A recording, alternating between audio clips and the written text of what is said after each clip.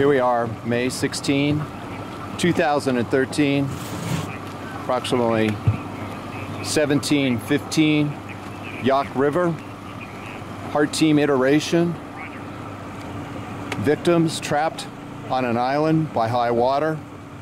HART Team has been activated through the local EMA, who contacted PEMA, who contacted the JEOC, and then the PA HART team has been activated.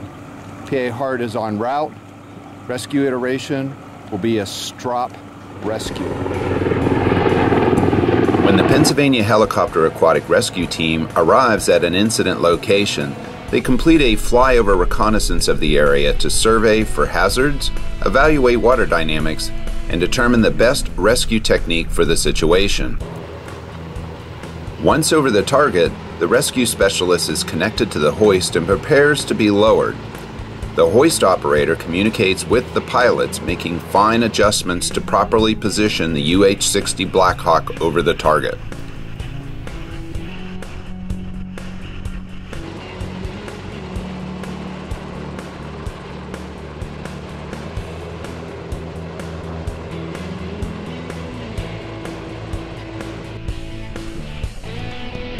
When the rescue specialist is approximately 20 feet from the target, they move their arm in a sideways motion, indicating to the hoist operator that they are close.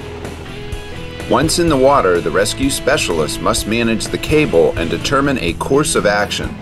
This training was the first time PA HART team members picked a victim from moving water.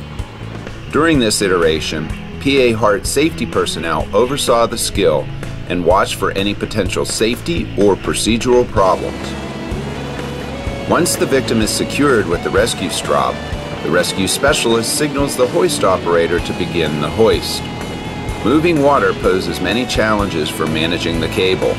Murky water conditions, debris, and current can make knowing exactly where the cable is a challenge. The hoist operator must constantly watch for any signs of problems during the hoist.